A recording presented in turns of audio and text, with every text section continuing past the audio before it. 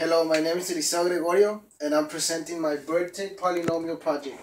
I was born in June 8, 1995, and this is my numbers flipped. So my equation is 5x to the fifth power plus 9x to the fourth power plus 9x to the third power plus x squared plus 8x plus 6. That's my equation. That's the one I'm going to be using. And I used the graphing calculator and I graphed it, and this is the shape of the equation. Uh, the domain is negative infinity to positive infinity. The range is negative infinity to positive infinity. Uh, the x-intercepts, there's actually three x-intercepts. Uh, they're not exact numbers, but they're decimal points. So the first one is 0.77. This 0.771. The second one is 1.06.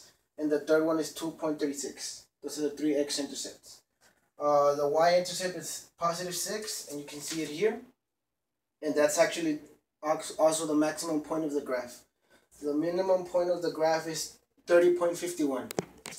Uh, and the end behaviors, well, it's pretty obvious. It falls to the left, then it goes up, down, and rises to the right. Though that's the that's my graph, and this relates to my life because every week I start working and I start earning more money. So I keep going up. And then when the maximum, I that's when I get my paycheck.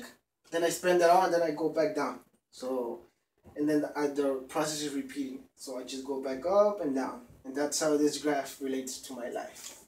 Uh, that's all and thank you for watching the video.